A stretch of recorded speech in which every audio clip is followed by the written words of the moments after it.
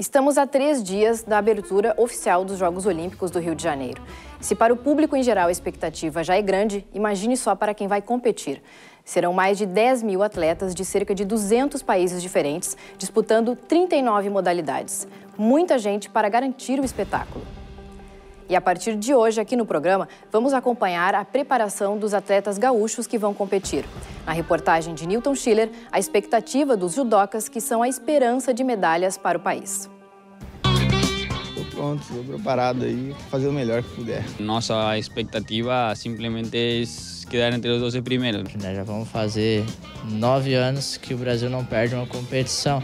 Somos o favorito pela medalha, acredito que dá para brigar, mas o objetivo mesmo é brigar pela medalha de ouro, né? Dos 462 atletas brasileiros convocados para competir, 23 são gaúchos.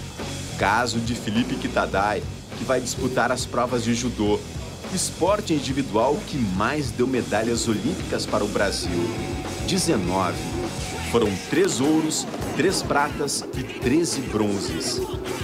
Kitadai tem 26 anos, 60 quilos e apenas 1,64m de altura. Mas quando pisa descalço na borracha do tatame, os adversários enxergam um gigante. E não é para menos. Felipe ostenta o título de campeão internacional de judô nos Jogos Pan-Americanos, medalha de bronze na Olimpíada de Londres. Nosso treino sempre é rigoroso, né? Os detalhes que a gente pegava antes a gente já ultrapassou e agora a gente está num afinamento profundo. Paulista de nascimento e gaúcho de coração, Kitadai diz que o momento é de se superar. Do que depende a conquista de uma medalha? Acreditar. Acreditar é a parte mais difícil, né? Você se comparar com todos os melhores é, competidores do mundo e acreditar que você é o melhor, acho que essa é a parte mais difícil. Mas a gente tem trabalhado bem isso. Medalha de ouro no Pan-Americano, Maria Portela, de 28 anos, foi desclassificada já na primeira luta nas Olimpíadas de Londres. Agora ela tem um desafio: superar o que não conseguiu concluir na terra dos ingleses. Esse é o objetivo, né? De chegar à medalha. Mas se eu só pensar na medalha, fica difícil. Aí sim vai dar vai aquele frio na barriga, vou ficar nervosa, então é mais fácil pensar luta por luta. E a única certeza que eu posso dar é que eu vou dar o meu melhor, vou buscar, vou me entregar na competição e vou atrás do meu sonho, que é a conquista da medalha olímpica.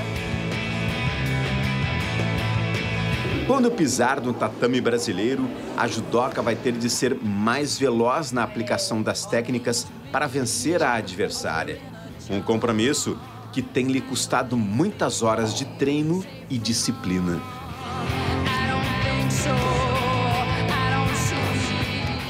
Conseguir entrar na luta, é, mais tranquilo tu fica e tu consegue lutar melhor, né? E aí os, os golpes se encaixam melhor, tu consegue resolver as situações melhor.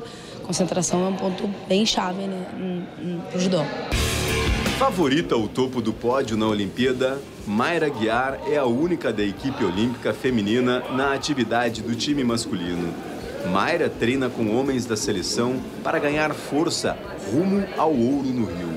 Eu sempre fui bastante forte e na minha categoria que eu luto hoje, até 78 quilos, não tem tantas mulheres.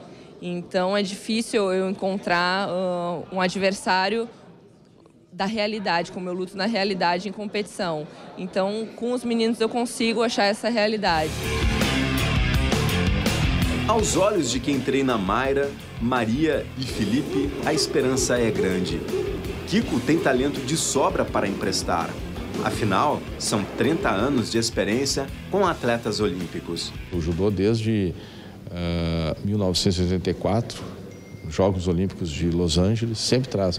84 trouxe uma medalha, uh, trouxe três medalhas, 88 Seul trouxe uma medalha, 92 trouxe uma medalha de ouro, 96 trouxe duas medalhas, 2000 trouxe duas medalhas, 2004 trouxe três medalhas, 2008 trouxe quatro medalhas. O judô brasileiro está sempre frequente nos pódios olímpicos.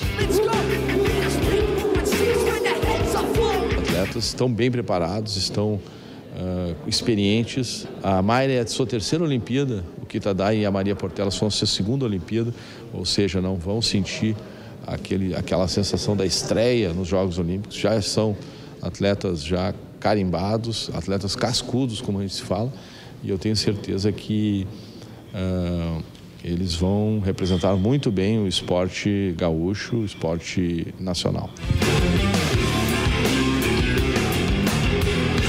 E a dificuldade pode, pode ser né, pela questão emocional, né, porque vai ter uma, uma comoção nacional, né, é, em função de ser em casa. Em função de ser em casa, mas a gente tem que entender, né, que os atletas estão muito bem preparados, que os atletas tiveram um, um, uma preparação muito boa, né? Mas também nós temos que entender que os outros também treinam, né? Que os outros também se preparam, mas nós estamos tranquilos porque o trabalho foi bem feito e eu acho que o atleta brasileiro, em alguns casos, cresce no momento da competição quando ela é no Brasil.